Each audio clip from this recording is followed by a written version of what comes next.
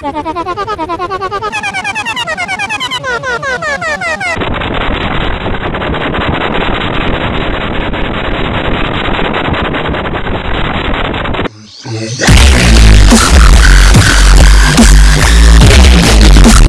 everyone now it's in for Stop motherfucking tearing all the freaking slacking on my videos!